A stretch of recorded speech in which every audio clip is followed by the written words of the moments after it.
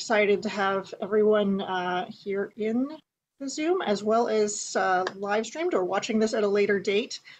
Uh, talking to us today about sort of bringing science into art, which is a topic near and dear to my heart, being a mundane scientist and an SCA artist. um, but this is very much not about me. Um, hi, I'm I'm AnneLyse, for those of you that don't know me. But what I did today was pull together uh, five amazing scientists and artists within the midrealm and brought them together to get a whole host of ideas on this idea of how we pull science into art and what that really even means. Um, so I'm going to uh, briefly have each of our panelists introduce themselves, talk a little bit about sort of their blending of science and art, and um, maybe have them include a favorite historical scientific fact if they've got one on hand.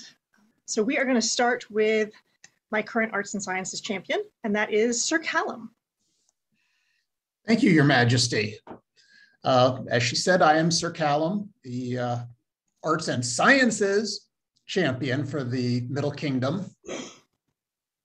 Uh, favorite historical science fact is that in the 1500s, the Italians stopped bothering heat treating their armor. And that's actually what led me into sciencing my art. I was wondering how did they treat? Why did they stop? And where did that lead? So for me, science is all about asking why or how or the other five questions that we had uh, Her Excellency Serena talk about at the keynote speech. So that's that's what it is, science. Find the answers. Perfect. Well, I think that's a fabulous transition. And our keynote speaker, Her Excellency Countess Serena, is another one of our panelists. So Serena, if you'll give us a brief introduction as well. So um, I'm Serena, and my thing is rearing silkworms with um, period medieval methods. And um, let me think of um, something that I learned, uh, a scientific thing that I learned when I was processing my silk in the um, realm of dyeing silk, that there's a dye called uh, Brazil wood that you can adjust the color of based on pH. So if you want it to be a little more, I mean, it's, it's usually like a reddish color, but if you want it to be a little more orangey, you can make it more acidic, or if you want it to be more purplish, you can make it more basic. So you can really customize the shade of your dye based on pH. That's fun. There was a whole class on dye molecules this morning that was just fascinating, all about chemistry. Wonderful, wonderful. Um, so that's good. Adds to that. I'm going to, let's see, next on my screen is Mistress Camilla. If you would be kind enough to introduce yourself. Hello, I'm Baroness Mistress Camilla. I've been teaching knitting in the Society for quite a while. And uh, the, the, science fact that uh, got me interested in various things is the fact that when wool gets wet, it generates a small amount of heat. When the Brendan voyage was recreated with the Stone Oxide boat sailing the North Atlantic, they picked up a fisherman off the Faroe Isles to work the crew with them. And first thing he would do every morning, he would get up, he would dunk his wool mittens in the North Sea because they weren't going to get any wetter and they weren't going to get any colder. And because wet wool i.e. a hair, can generate a small amount of heat. This is why to this day, you cannot send wet hair through UPS because of the risk of spontaneous combustion. I, I am learning so much already and we're not even five minutes in. This has been so much fun. Um, I, I, totally, I did this for myself, I think. So, okay, next up on my list of panelists, I have her, uh, the Honorable Lady Anne Milligan. Anne Mulligan. Thank you, Your Majesty. Um, my name is Anne Mulligan, and my art is printmaking. The science that I use in my art is more the actual process of if I do this, how will this turn out? So, but there is some science facts about there is a distinct difference between both period inks and modern inks if they use the, um, between using vine black ink and bone black ink. And that's because the primary ingredients they use for those are in bone ink, as you would imagine, is burned bone that is then ground and used as a pigment. In the vine, it's burned vegetation that is ground and used as a pigment. And it actually, to my eye, the um, vine black is darker. So if you want a distinct dark black, use that. If you want a blue cool tone to your black, use the bone blue. Very cool. More, more fun color and dye and pigment and just cool, cool facts, cool facts. Okay, last and certainly not least is Master Milesent Vibert who is uh, perhaps one of the most diverse art scientists I know. Uh, thank you. I'm Millicent, and uh, I'm actually was elevated to the Order of the Laurel for science. Um, mostly, I'm into book arts, uh, costuming, dance, uh, calligraphy, sticking gold to things. Um, I'm a little I'm one of those stuffed laurels, but uh, specifically, I was elevated for my experimentation. Uh, one of the things I'm really into, I love the history of science and how we have different theories that come up and, and change. And uh, I think one of my favorite things is how colossal blunders and failures uh, turn out making us move forward. Uh, you know, we were talking about chemistry and the chemistry of dyeing. You think about it, a lot of that came from the science of alchemy, uh, where for hundreds of years, alchemists were trying to turn one metal into another metal, and they failed miserably. Uh, they never achieved that goal, but so much new knowledge came out of it that affected pigments, it affected metallurgy, it affected, you know, the armoring and dyeing. And again, no art exists in a vacuum. And that's always very uh, fascinating to me, where each art touches all of the others and how they influence each other. So true. And I think that's why a lot of us end up going down the rabbit holes we do, where you get all of these interconnected things. And, uh, you know, I, I, like to refer to the SCA as, as it's a lot of hobbies within one larger hobby, and somehow you do all of them. I think we've all found aspects of that. Um, so this is, uh, thank you all for being part of this panel. Thank you for the introductions and already fun science facts and, and interesting ideas. Um, this is my reminder to our live audience to please feel free to come off mute and ask questions or pop questions you have in the chat as we go. Um, I have a few questions to get us started, but I'm hoping this will be a very interactive panel, um, despite not being able to do this in person so I guess uh, my first question, and we've covered a little bit of this with the diversity of the different things that you all do, but what can be scienced? Everything. okay, so how do you science anything? Well, in my instance, you've got the hard sciences of studying the artifacts and social sciences of who made it and why because in the late 16th century, not only do you have the transition between knitted hosen and sewn hosen, you've got the social science aspect of it as a social program when you have widows and orphans being taught how to knit in order to supply the market and earn their daily bowl of gruel. So you've got both there. Um, I think for me, one of the I think it's the approach you reach at for the particular art.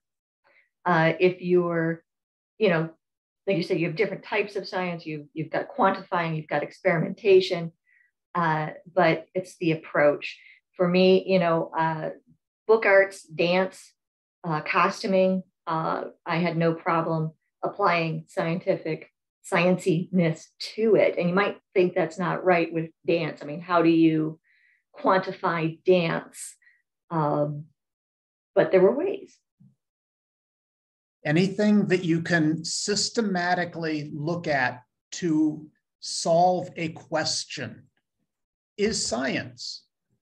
Uh, there's a, a Laurel near us who went through the Maciejowski Bible and counted the colors of socks in the illuminations to see what would have been done, what, what color socks are appropriate for a knight to wear or for a king to wear in that time period in that place. Anything that you can systematically look at to answer a question is science. Excellent point, Calum, because I think a lot of times we look at a particular object in the SCA, you know, we see, you know, I want to make that. Um, and what goes from that, just recreating that object to science, is then now looking at the other evidence that's around that object. And even you ask questions too, like with the uh, uh, Mistress Constanza's excellent uh, Maciejowski project you mentioned. Uh, is there actually a difference of the colors worn by different social classes or genders? You know, you don't necessarily know until you do that quantitative work. And it's, it's a way of getting a deeper understanding of the project you're interested in.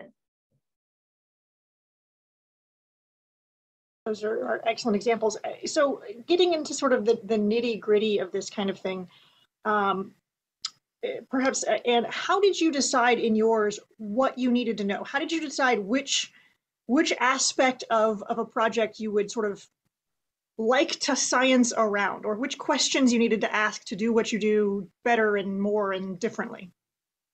Well, some of mine started in my honors project since I am mundanely a printmaker that is my, my degree. But for SCA purposes, it came down to I wanted to teach other people to do it. And I realized if I needed other, wanted other people to printmaking in the way I do, which is visual pictures, um, I needed to make sure I knew all the price points and the affordability of it because as an art student, it's not that affordable. I used my student loans to pay for my art supplies. And I know not everybody can do that. So I know there are a lot of modern wood possibilities. Since my current focus is woodcut, there are different possibilities that can be used. So I decided to take a set of different woods and I'm going to cut the same picture out of each one. And I'm going to then print said picture as many times as I need to for the main larger print and decide which wood to use. And that way, when people ask me, hey, I want to get started, what wood should I use? I can ask the, diff I say, I can first off say this is a difficult question, but do you have a, a budget? And if you have a budget, here's my recommendations because I want to be able to answer those questions instead of them going away disappointed and not being able to carve. I have a similar project going on. Sorry, Your Majesty.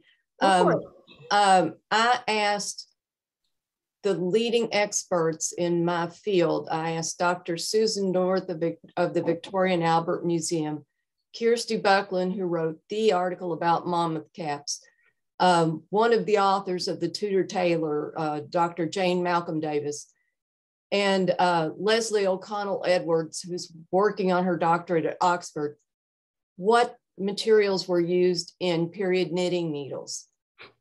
200 years of uh, textile history, uh, academia, they didn't know. So I have designed an experiment. I haven't actually implemented it yet, but I've designed an experiment to figure out what would have survived because so far nothing has survived. So I've got two types of wood, bone, antler, horn. I've cut them all the same size.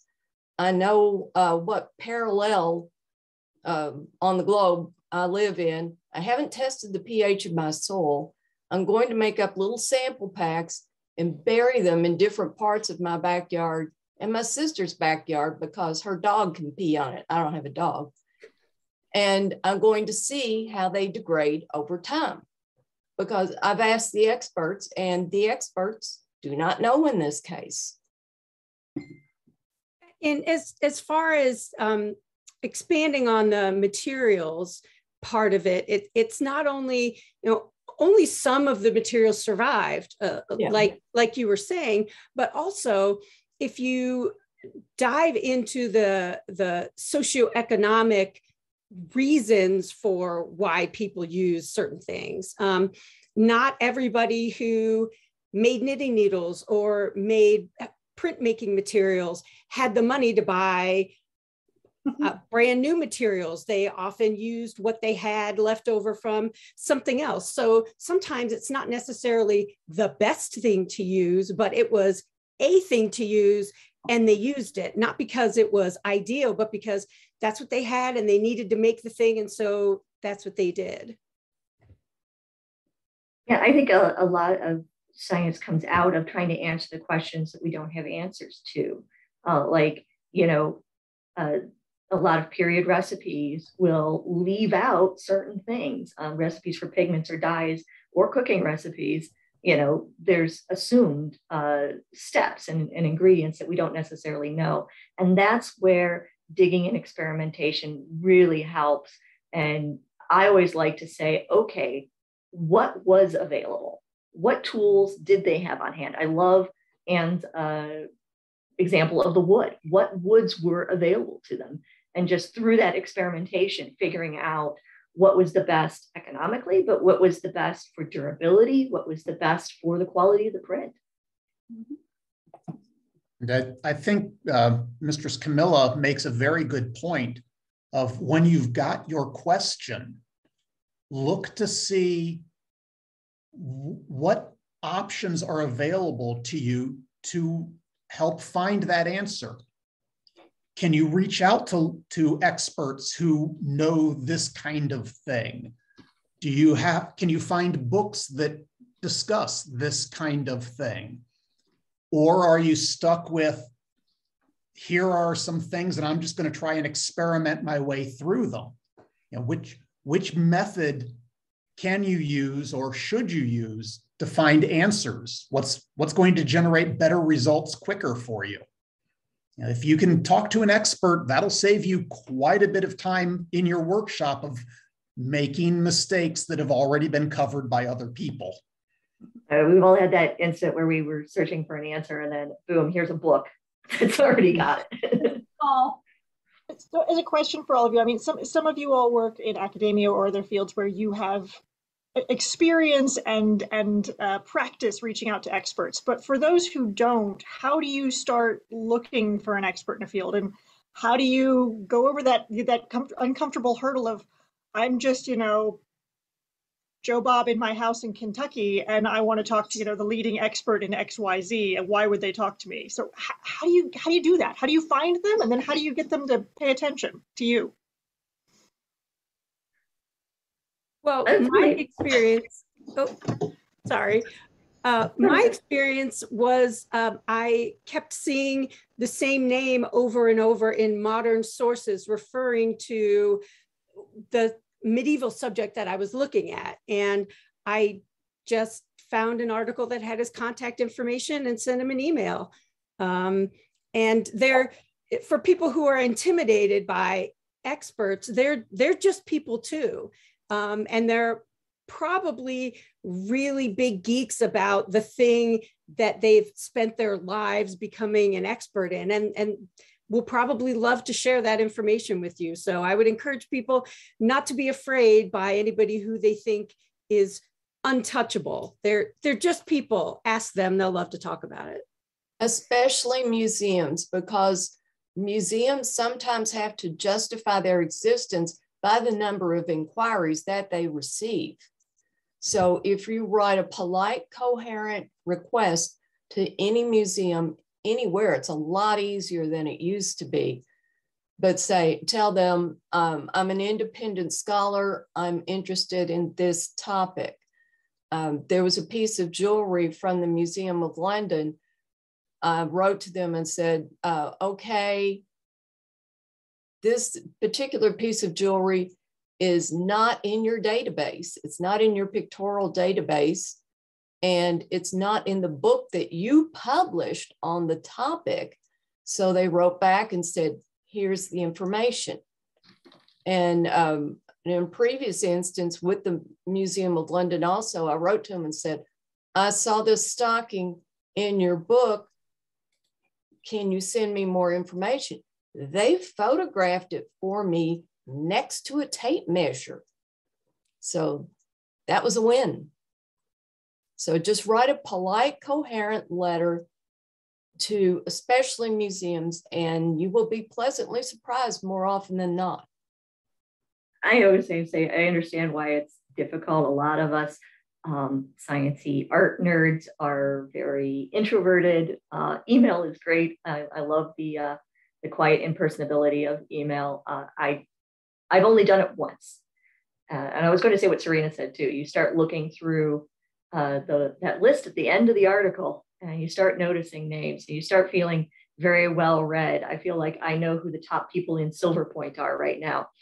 Uh, but I did email the Cleveland Museum of Art and asked a question about drawing, and they the, they got right back to me and like say, uh, here, read this book. And I went out and I got the book. It had all the answers, and I was thrilled. But yeah, I, I always say too, one of the best things is flip to the end of the article, look at their sources. oh yes, uh, that Lucia, you're right. They uh, turnaround time is not always fast. It depends no. on how busy they are. It, it, yeah, conversations are not always speedy. Um, they, they, they have their own lives, amazingly enough, but uh, it is amazing what just a simple email can get you. Um, let's see. So we've we've talked a little bit on a whole lot of things, um, and and we've talked a little bit about about this idea of of one question breeding lots of questions and interests and all the rest. And so here, here's a maybe a tough question. How do you decide where to stop? Like, how do you decide when you know enough and you should stop this rabbit hole and maybe focus on this one? Or do, are you guys like just keep going on 17 things at once? The struggle is real. what is this word you use, this stop? I am unfamiliar with this.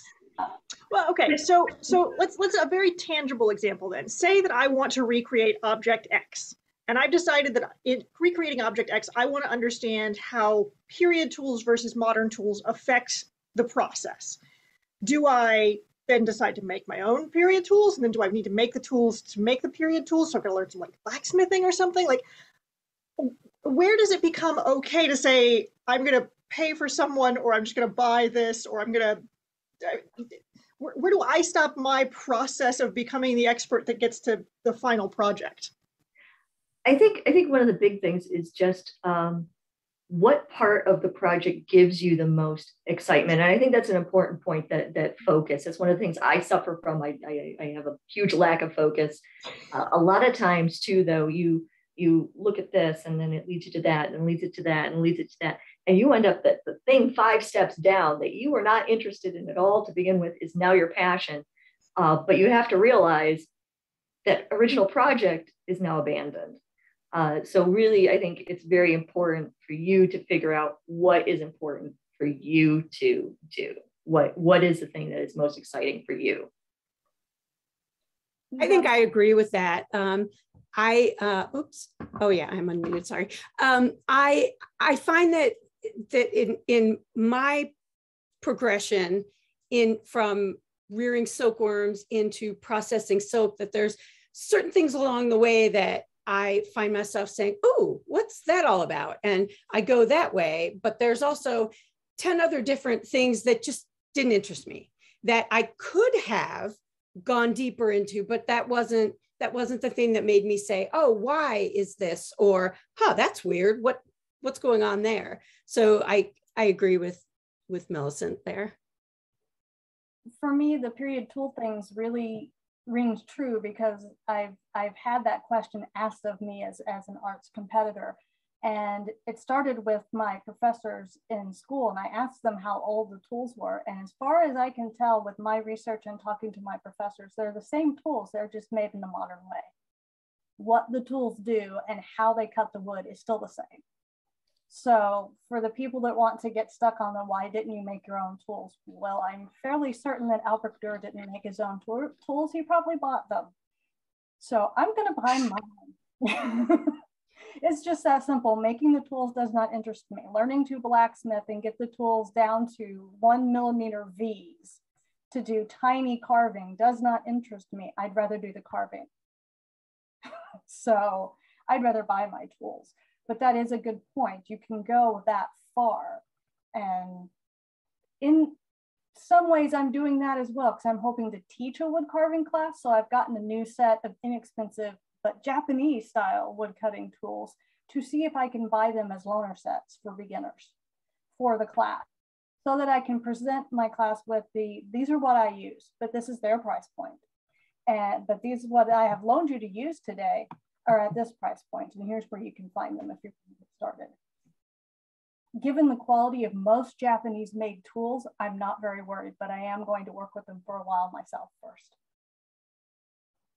there's definitely a lot of different ways to take that and sometimes it's worth trying it and determining it's not your interest or you know hey in period if someone was doing what i'm doing they would have also purchased so it's okay um, i find myself you know i want to do my, my thing being fiber arch i want to do a lot of my, my fiber arch with you know appropriately correct sewing needles and things like that they're a pain in the neck to work with and if i have to go fast i just can't but i'm glad that i know right even if i'm not going to most of the time because I don't have all day to sit and sew.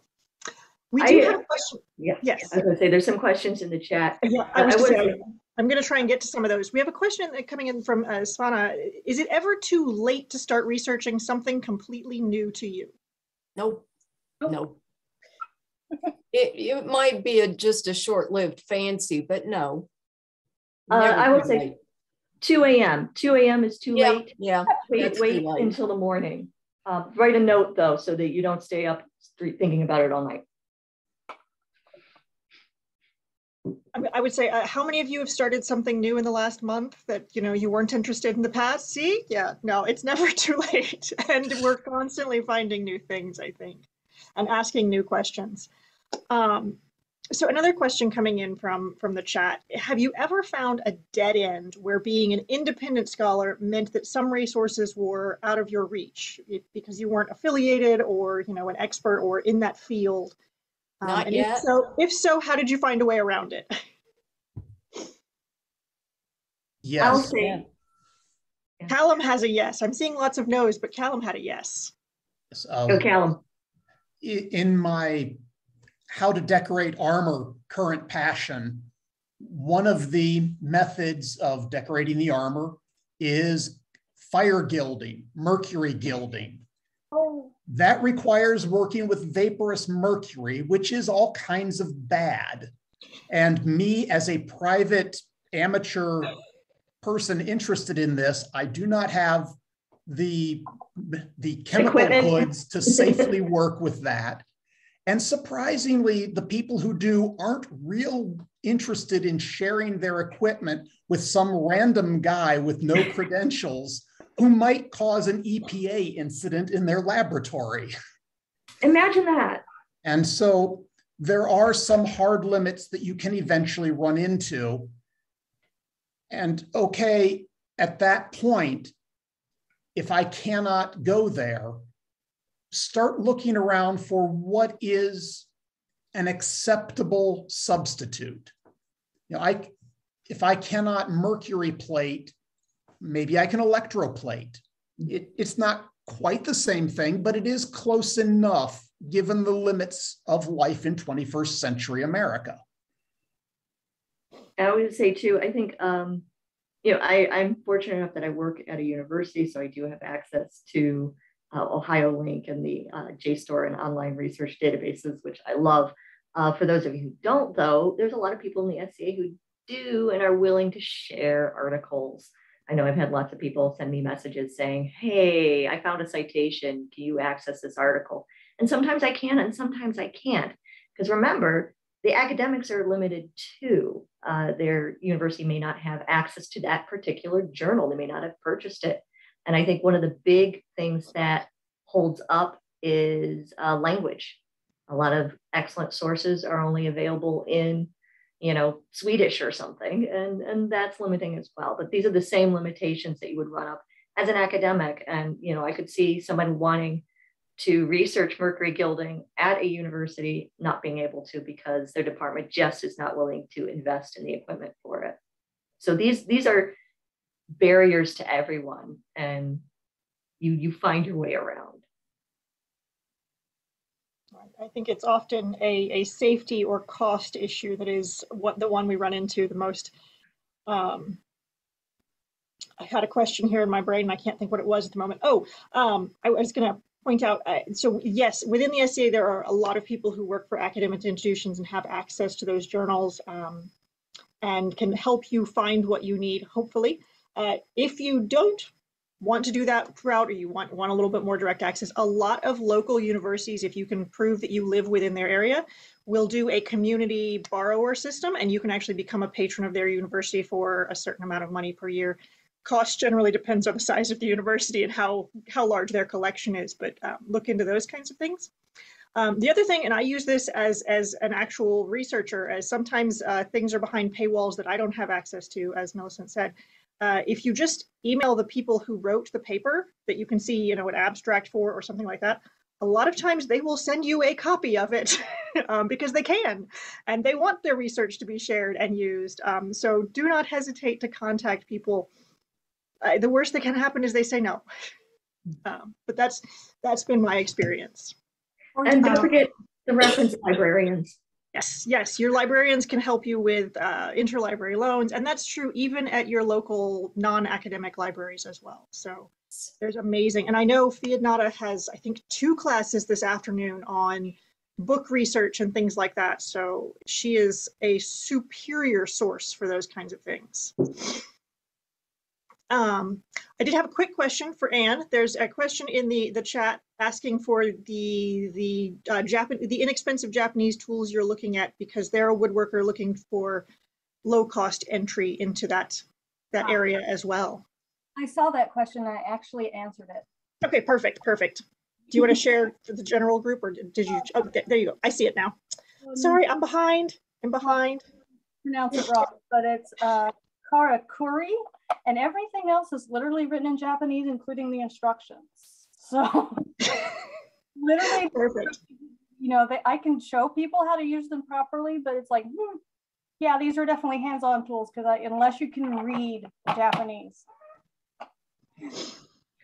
I will say too, with the part of the passion of science, getting back to our, our previous topic about where do you stop, I always said I was only going to do uh, period tools and materials on a, a word scroll once. I just wanted to do it once to see what it was like.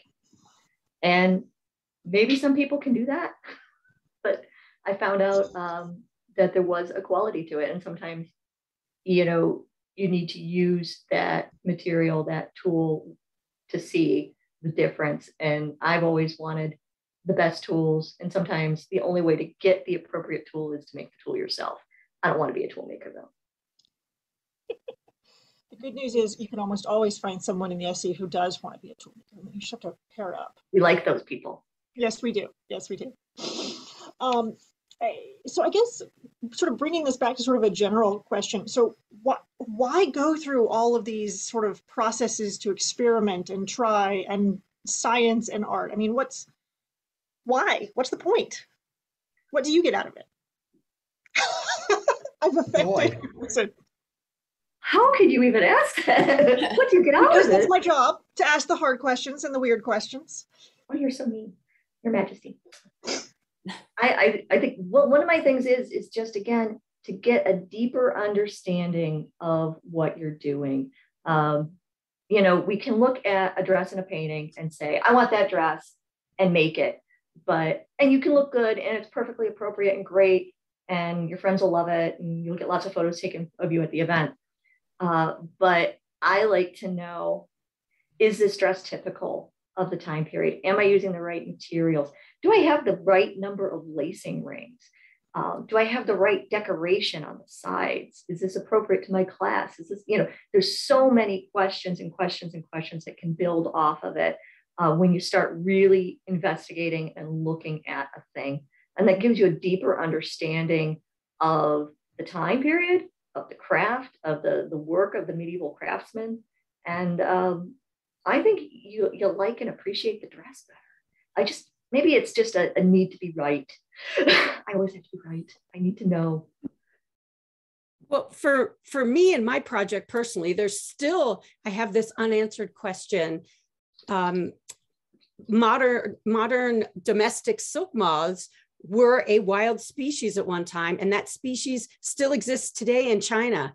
And I want to get my hands on those worms and rear them as they were when they were first being domesticated by the Chinese 4,000 years ago.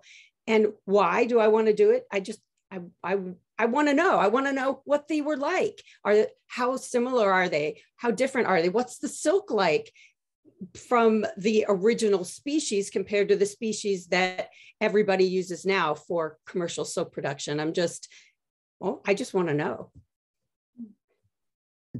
Touching on that, this is a hobby. Hobbies should be fun. So why do we do it? Because it brings us joy.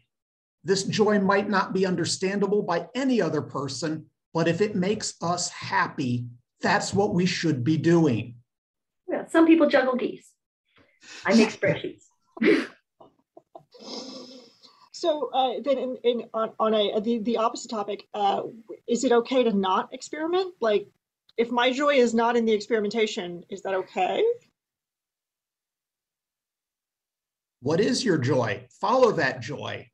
Yeah. If if experimentation isn't your your thing, do your thing. Do the thing that brings you joy.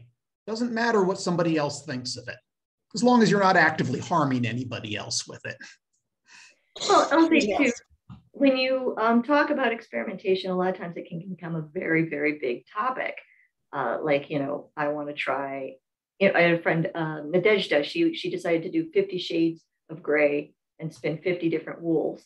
I think she's up to like 250 now.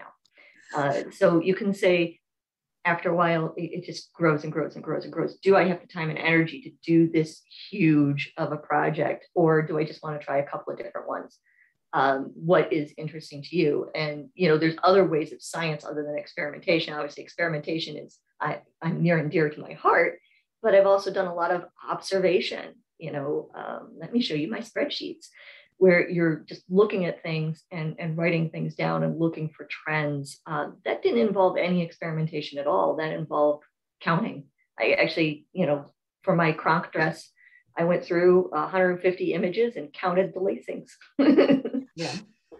you know, because I wanted to know. Yep. Math is everywhere. I've, I've found that out. People think, oh, you just you just sit down and you knit something. No, there's math. There's a lot of math. There's math, and then there's geometry, and then there's more math. A lot more math than I ever thought I would have to deal with. Don't scare them. Math is good. So I think the math relevant to your joy is fun. Math for math's sake, unless your joy is math, is less fun. Yeah. I mean, I, I speak with a mother who is a mathematician, so I Yeah. I don't get it, but it's her joy. Yeah. And sometimes you have to do something that you're not really super jazzed about to get the, to the thing that you are jazzed about. Yeah. Um, and I touched on that a little bit in my speech that if you do something from beginning to end to you know experiment or learn whatever process and you find out there's something you just really can't stand one step in the process hand it out for somebody else to do. If you've done it already and you have an understanding of what's involved then you have an understanding of of what might the logical progression be at the end of the project or or things that you could change about it. Um, but i don't think it's necessary to enjoy absolutely every aspect of your project or to even do every single aspect of your project. That's a thing to hear other peers, since I'm not one yet, say that because there are certain things that I can't do. Like one of the things I initially wanted to do, learn how to make period. Make even though modern inks can't be that different i'm sure some of how the the oil products are processed is is more refined. Um, but i have an autoimmune disease that all oil products trigger. So even if i do it i may do it once to say i understand it and then i'll be done. It won't something I carry on because I can't. And even when I teach, I'm using modern washable oil inks aren't as, and I wear gloves all the time. Not just to keep me messy because I'll get messy anyway. It's ink, I get messy. But it's just to avoid the oil soaking into my skin. So, so some things you can't do, literally. So well, in some instances too, technology has marched on for a reason and new tools have been developed for a reason. I mean, you look at some tools, like some of the, the early woodworking tools, and the modern tools look identical because there was no need for them to develop and change. You know, a chisel is a chisel is a chisel and it works great. Uh, but certain other things like our calligraphy pens, um, there's a reason why the modern uh, fountain pen and the modern cartridge pen developed. And as much as I love my little feather quill, it's a pain in the butt constantly recutting it. And if somebody needs calligraphy in an hour, I'm going for my modern pen. the end result doesn't look different to the uh, to the end user. So yeah, there's there's times where you have to make those intelligent decisions uh, based on does it actually affect the project and, I, and coming, no, going going into that, I was I was just thinking with your example of a chisel is a chisel. Um, you know, with His Majesty being a woodworker, I can answer chisel is not always just a chisel. Um, and in some cases, the modern technology that makes it different is the hardness of, of the metal and how fine an edge you can get on it. And it's a really frustrating to stop every 30 minutes and sharpen your chisel versus, you know, once a week. So why the technology advanced. Yeah, there was a reason you, you understand how it would have been different, but you're okay with not doing that because you have other things to do in your life these days. So I think that's that's really it's it's finding i think i think as much as anything out of this conversation uh, what i'm hoping people have heard is that it's okay to ask questions as many or as deep as you want. It's okay to not ask questions. And on this this you know continuum of of depth of knowledge wherever it is that you find your joy it's okay to be there wherever it is on that. And you will find other people at that same level who find the same things fascinating that you do and make the same sort of modern or period decisions that you do. And and, and all of it's okay as long as we're all having fun together and sharing joy.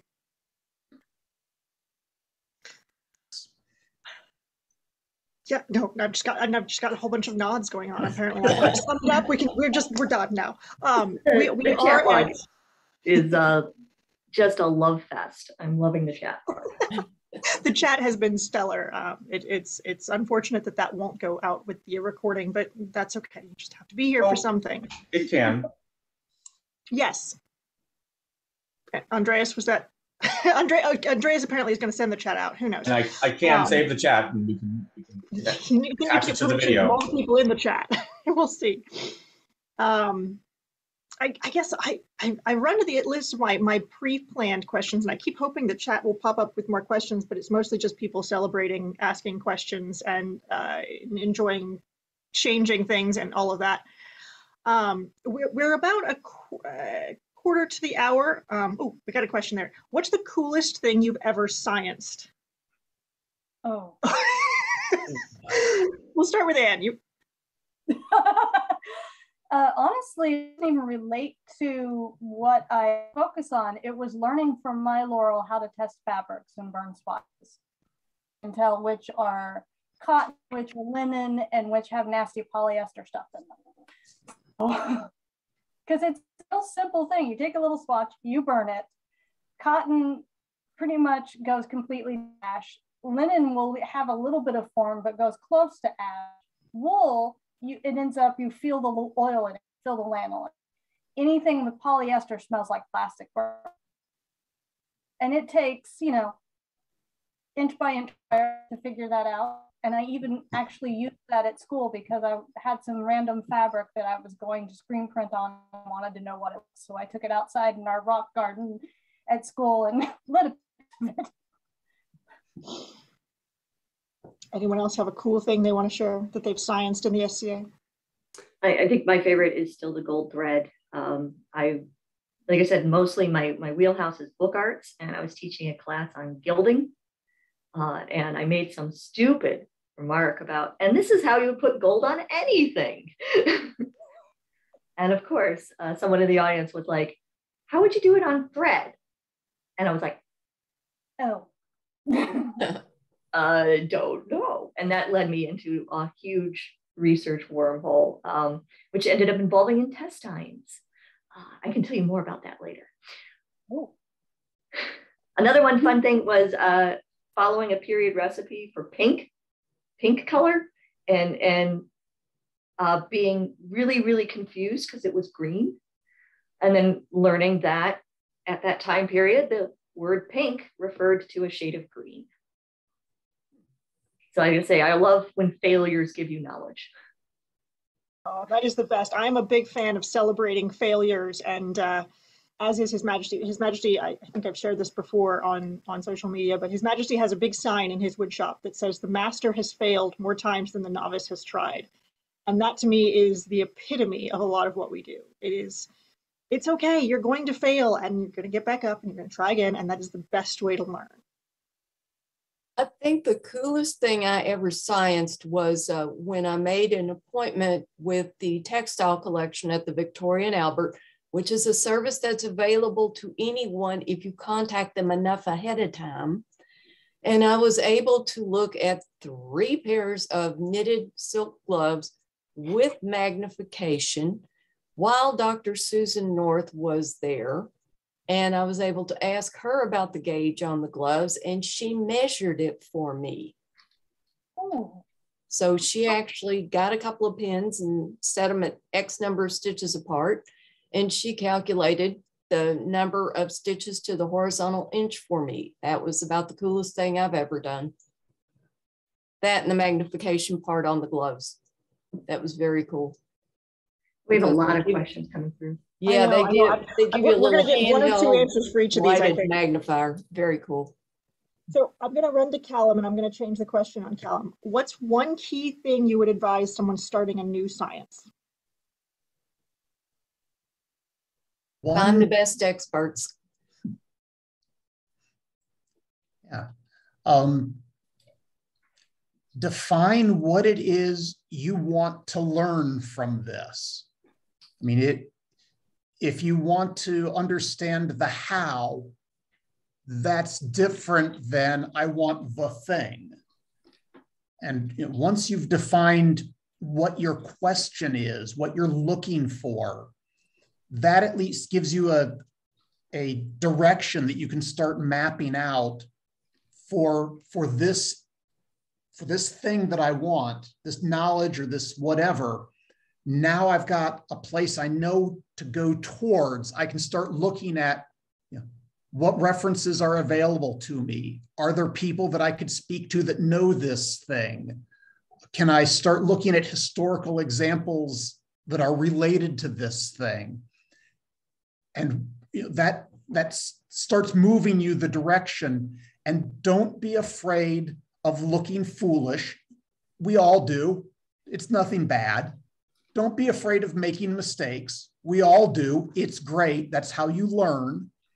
And let let your curiosity guide you from there. Have fun with it. That's that's a great point. I'm gonna I'm actually gonna I'm gonna be I'm gonna have fun because this came in from Nikolai, so I'm gonna ask Serena because I can. what do you do you see a real difference between arts and sciences? And what is that difference? So i've been thinking about that question. Um, i know a lot of people in the sca say if you take a project you throw it against the window and a window doesn't break it's art. If the window breaks it's science. But i think that you can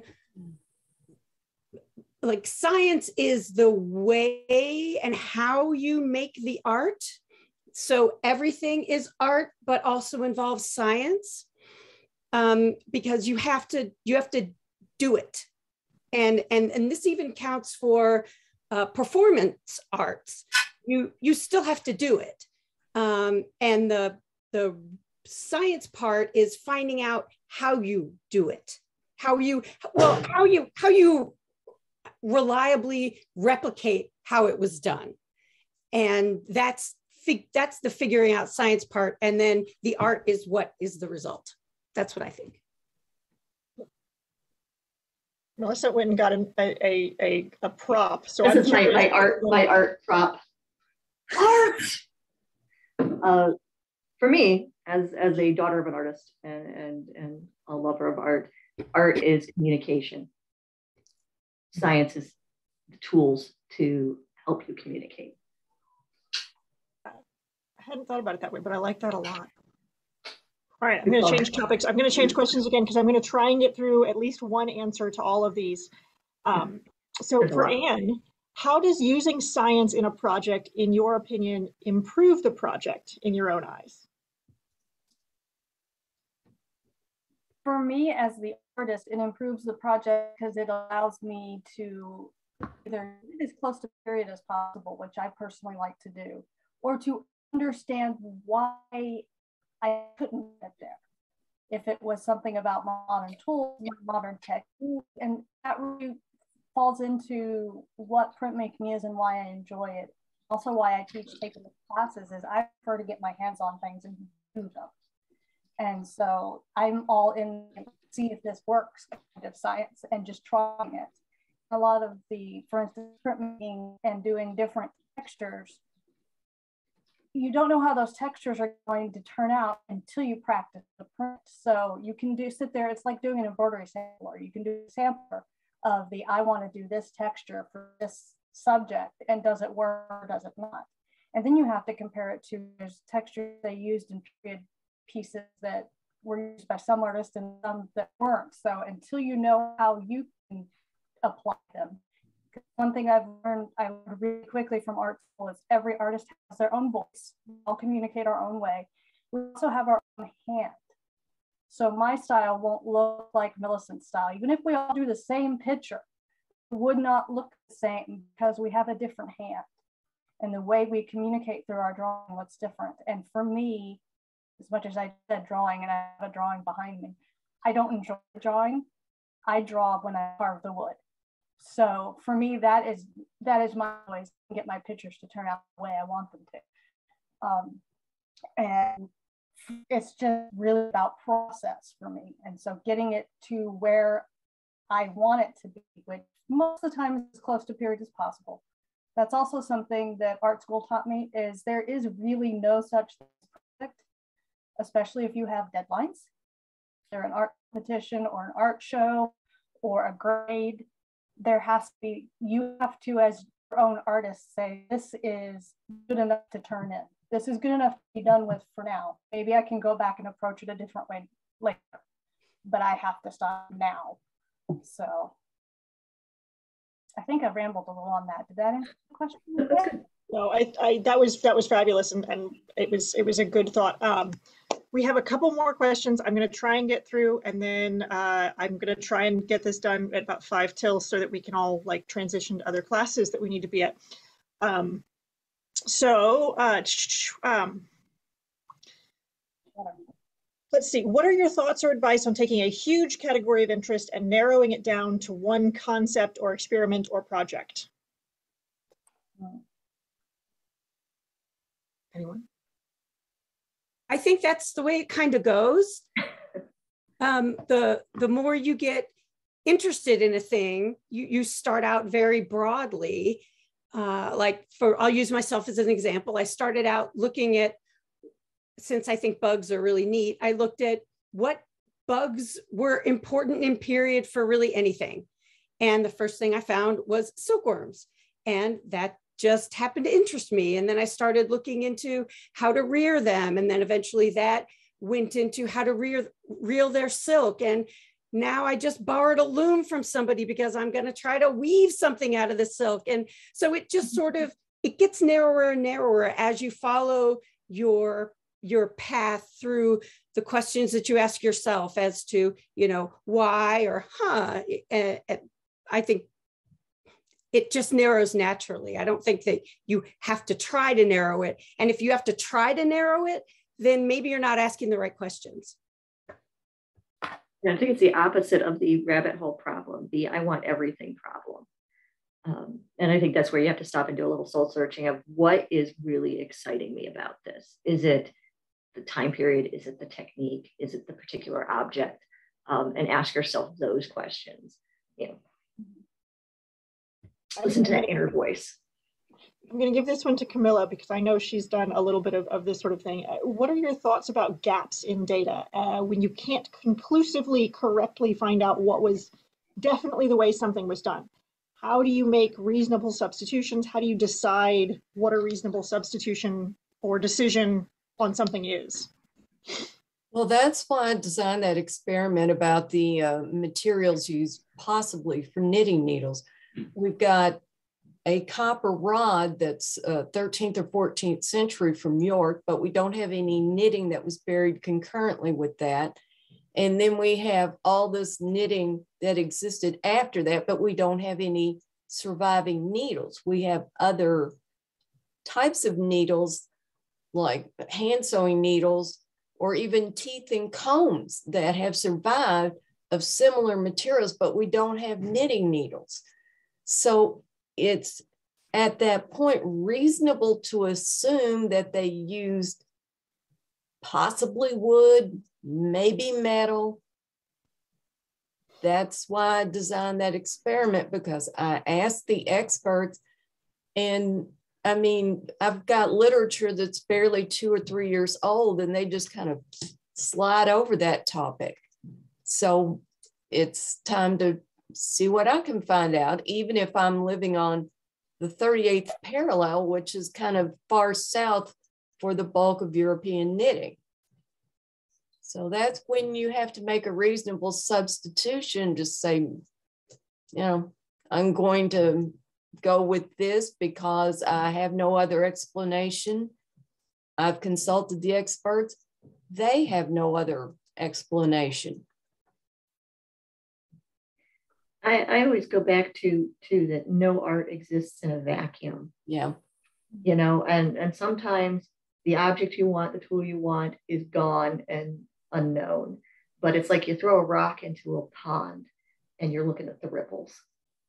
So you collect as many of those ripples as you can to guess the idea of that missing object. You start looking at what was possible and what would make sense and do the best you can justify yep. the decision you make if you're if you're submitting it for an arts and sciences competition anyway you justify your decision otherwise you're the only person who's going to know that you made a reasonable substitution and you roll with it um, with that being said, we are three minutes to the hour, which means I've got to shut this down as much as I would love to continue this forever and ever. Um, for everyone watching this now or in the future, I hope it has been beneficial. Um, and I hope that you will find uh, all of these lovely scientists, as well as many of the other amazing scientists we have in the mid-realm and the SCA, and use them as resources for helping you find your own art and how you can science it. I, for one, want to hear all about your experimentation, your knowledge gains, and your rabbit holes. And, and I want to celebrate them with you. So please don't hesitate to share them with me in person or on social media. Um, let's let's science our arts together. Thank you all very much. Bye.